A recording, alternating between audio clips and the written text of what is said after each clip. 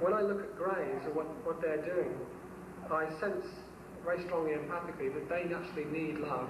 I don't mean a kind of woolly love that lets them do whatever they want to do, but a love that accepts their reality, that accepts their condition, and all of the others that, that, that are um, making their presence known here. Um, but in a way that if we don't learn to overcome our fear, we are incapable of love. And if we are incapable of love, then we can't resolve the problems that might arise out of a relationship, whether it's with non-human intelligences or whether it's with us, each other, ourselves. Between the age of 16 and 19, I felt like I was being left alone, being given time to integrate the experiences that I'd had um, over the previous years and to choose whether I wanted to carry on with this. Now, I've said that second stage contact involves, uh, or it, it, depends on how you respond to, to first stage contact, initiation. Um, the third stage is once you have overcome your fear, and the second stage can take years to go through, um, or not. But the third stage involves having close interaction with ETs, actually starting to work with them. Um, possible one-to-one interaction in physical form, going on board, um, and starting to treat them as equals or different equals. Okay, they come from a different place, different experience. Uh, something the, the ET that I encountered um, never did was he never told me his name. He never told me where he came from or any details about his planet. And as a growing up child, I, I didn't even question this. I just thought it was, it was okay. Um, it wasn't the most important thing. The most important thing was knowing that he was real and, um, and trying to understand why um, he was here and why I was experiencing this. Now, when I was nine, he asked me, Do you remember? And I had a whole flood of mental images. Well, I met him again when I was 14. This time I was out of my body, and it was an on-board experience. And I remember for quite a few years asking if I could come on board, and I never got a reply, but intuitively I felt, no, you're not ready. Um, but one day I received this instruction saying it would be possible. And during the day, I was very excited, and the day went on and on and on, and still nothing was happening. And um, by night time, as I was getting into bed, I was beginning to feel really disappointed.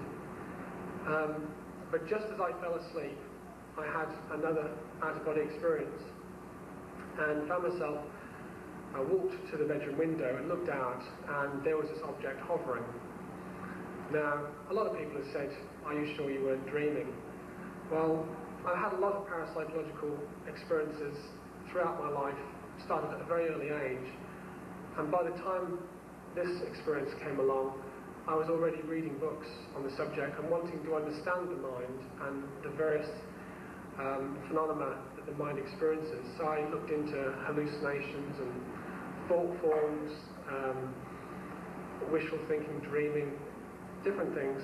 And this wasn't that. I was out of my body, and it really does feel different. If any of you have had an out-of-body experience, you will know that being out of your body uh, is nothing like um, dreaming or um, just wish, um, imagining it. Um, I walked to the window and I looked up, and there was this object.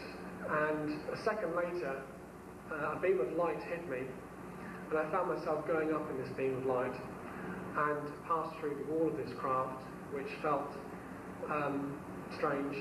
It was like almost passing through water um, with like a tingling sensation all, all over me. And I found myself in a circular room um, with light that seemed to be coming from everywhere. And this being that I knew was standing to my right and look, looking away from me and had something covering his uh, face and body. And I said to him, why are you looking away from me? And he said, because you'll be frightened. And I said, I don't think so. So he then turned and I had a really good profile of this being which kind of looked different from when I first saw him because he was in his body. Um, he wasn't actually projecting. And I could see the wrinkles um, in and around the eyes. And I wasn't frightened. And he then, without speaking, walked in front of me and I followed.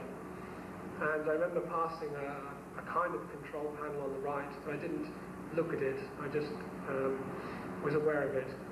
And he led me out of this circular room down into a corridor. And down in this corridor, on the left-hand side, as I entered it, was like um, a bed that was inset in the wall, down on the floor. And he pointed down to it and said, Do you remember? And as soon as I heard those words, once again, I had a whole flood of mental images that I knew to be relating to my life. Um,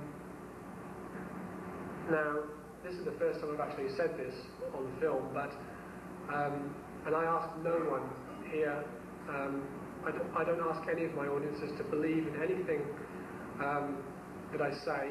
At best, to keep an open mind.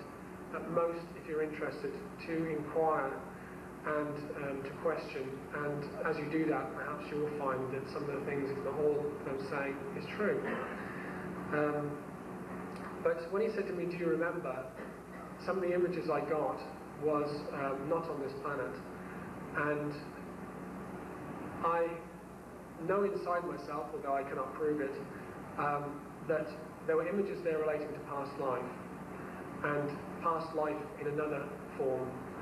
Um, and after having many out-of-body experiences before, I was already initiated to, I felt initiated to the reality that we are more than physical beings, we have souls, and the energy of our consciousness survives physical death, and that we go through many lives because we need to.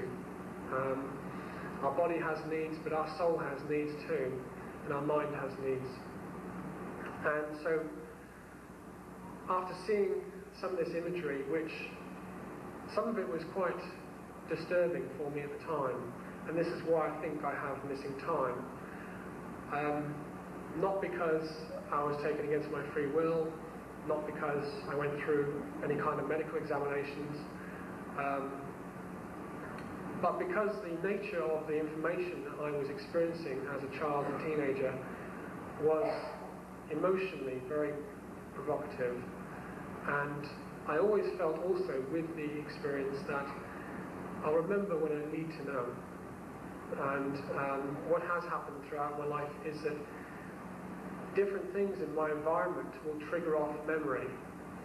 And one of the memories that was triggered um, a few years ago, while I was walking through a, a town in, in Wiltshire, just shopping, and I don't actually remember what it was that triggered it, but suddenly took me right back to uh, some of those images, and particularly an image of laying on this bed and dying as a being.